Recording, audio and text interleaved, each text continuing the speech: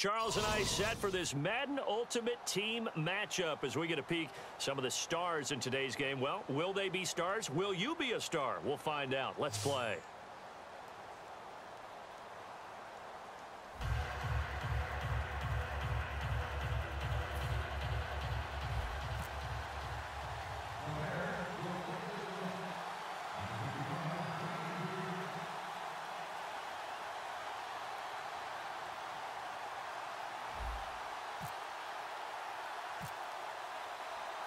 On to get us started now, the kicker, Chris Boswell. And we are underway from the City Beautiful. That'll be taken in the end zone. And look at this. Right away, a loose football. And this is picked up by the Bears. And they are going to take possession of the football inside the 15 at the 14.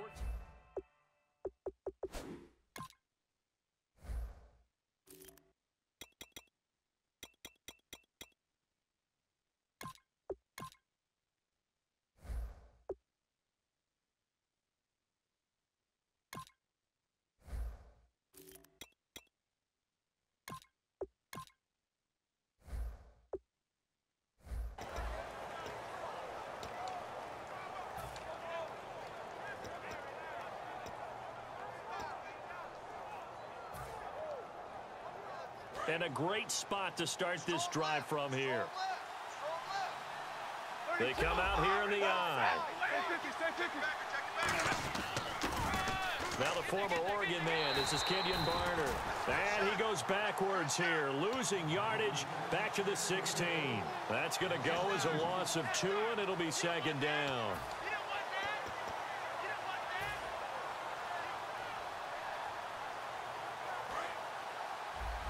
And on the outside, they're playing press coverage. Hey, here we go, lady. Uh, watch out for me. Cloud, cloud.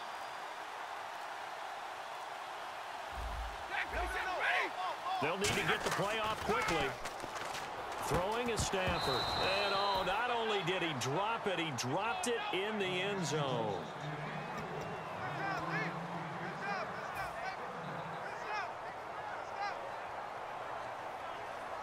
They don't want to waste this outstanding field position on this opening drive as they come up on third down.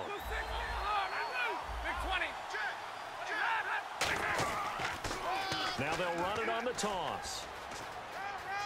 And he takes this one in for a Bears touchdown. Kenjon Barner, a 15-yard touchdown run. And the Bears have taken the early lead. Solid job up front. Really just a solid job all the way around to get that one in. That was well executed, wasn't it? Well blocked, well run. End result, six points. Touchdown. Boswell now to kick it away after the touchdown.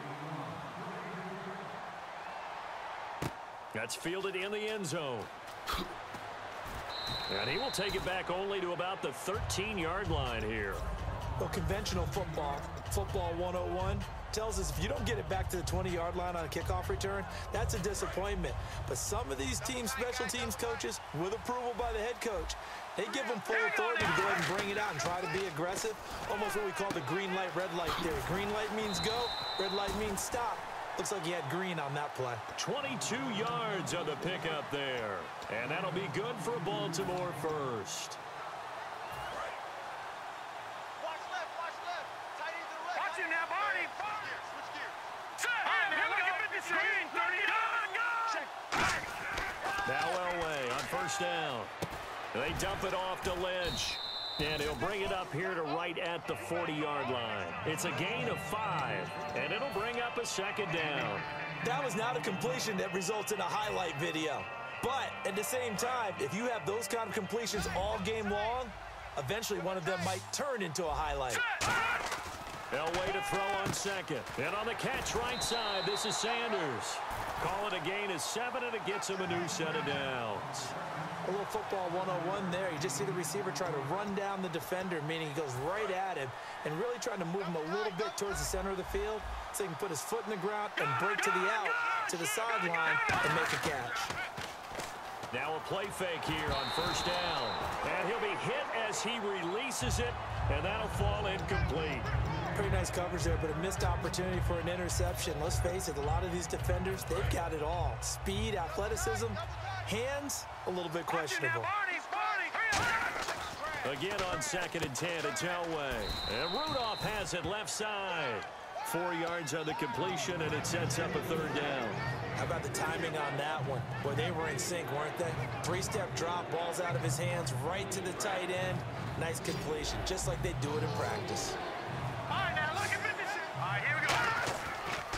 Elway. Left side here to Sanders. And he will have first down yardage as he's brought down at the 41. And on display right there, the arm that made John Elway a lot of money. And that's going to leave a mark because when he throws it with that much force, one of the best arms the game has ever seen, one of the strongest ones, it does leave a mark. Had, they, they, actually called it the Elway cross because you could see the imprint on a player after he caught one of those bullet passes. I like that one, partner. They go back-to-back with excellent gains, and really it shouldn't be a surprise who they were throwing the ball to. He's their best guy. Yeah, we knew that they would get him involved early. They're doubling down on getting him involved early. Don't be surprised they'll come right back to him again. They haven't shown the propensity to be able to stop him. And the eighth play on this drive coming up. On second down, Elway. Throw left side, completion to Rice. The reception good for seven. It's third down. Play number nine set to come here on the drive on third and two. On the handoff, Lynch. And he'll have the first down, getting this one to the 14-yard line. It's a seven-yard gain there, and it's good enough to move the chains. They go play action here on first down. Can't find anyone open. And it pops free. The collision there jarred the ball loose and brings up second down. So much of this game is focus and concentration. And whenever I see guys running the in route, I know that in the back of their mind, they're always wondering who's lurking inside that might put a big hit on them as they try and catch the ball. He was trying to get it there to Vernon Davis, the tight end. Third down here. And this seemingly endless drive continues. On third down, Elway. Flush to his right. He can run for it, and he will. It'll be a gain of six, and that's going to bring up a fourth down.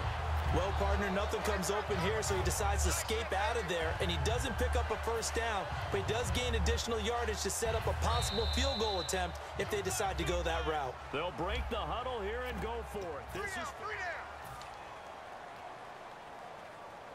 And they're going to at least line up to go for it here on fourth down.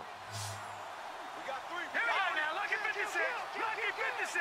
Watch it now, Barney. Barney. They'll try and throw for, tries for Rice, intercepted. A great read and accelerating, and off he goes. He's at the 40, past the 20, and they will score a pick six for a Bears down. So they go on fourth down. Not only do they not get it, it turns into six points the other way. Disastrous. And many people think you should just go ahead and knock it down in that situation. Turn it over for the offense. But I had a defensive coordinator recently tell me, we see that as a passive play. We hey, bro, you think I ain't know you was about to do that shit? You've been doing that same play the whole game. It's the exact right play to do. That's I knew you was about to do. Thank you. Maybe you hadn't been taught with your sweet ass team. Sweet ass team don't mean shit with a side ass player. And he probably should have stayed in the end zone as he'll muster a return up to only the 14-yard line. The Ravens offense now, they get ready to head back on the field. And last time, decent field position through the pick six, obviously costly but they can't afford to just bunker in now. All right, good field position means go ahead and attack on offense. Try and press the advantage a little bit.